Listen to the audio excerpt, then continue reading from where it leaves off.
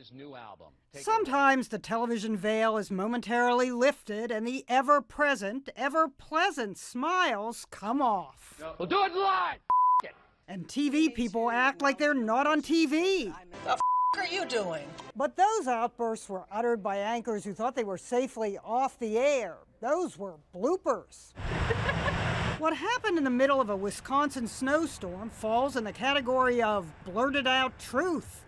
Okay, maybe it's not the profound kind of truth shouted by the anchorman in Network. I'm as mad as hell, and I'm not going to take this anymore! Angelica Duria didn't mind taking it. The 26 year old reporter for CNN affiliate WITI in Milwaukee had been standing out in the snowstorm for hours doing live shot after live shot.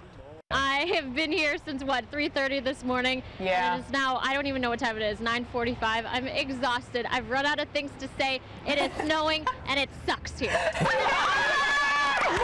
Angelica, welcome to Real Milwaukee. Most viewers loved it. The station's general manager loved it. Angelica's mother loved it.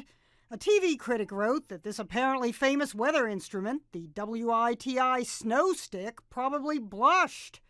Maybe Angelica wasn't as posh as, say, Prince Charles the time he did the weather. Cold, wet, and windy across most of Scotland. But at least Angelica's not getting teased like the Today Show's Al Roker did when he had what he described as a brain freeze, to which some YouTuber added a soundtrack. You unlock this door with the key of imagination. Angelica was in her own twilight zone of ambivalence when she tweeted, Not sure if I should be proud or embarrassed of that moment. LOL. Be proud, Angelica. They say the truth shall set you free, even if it doesn't free you from freezing your butt off doing live shots. I'm as mad as hell! and it sucks here. Jeanne Moos, CNN, New York.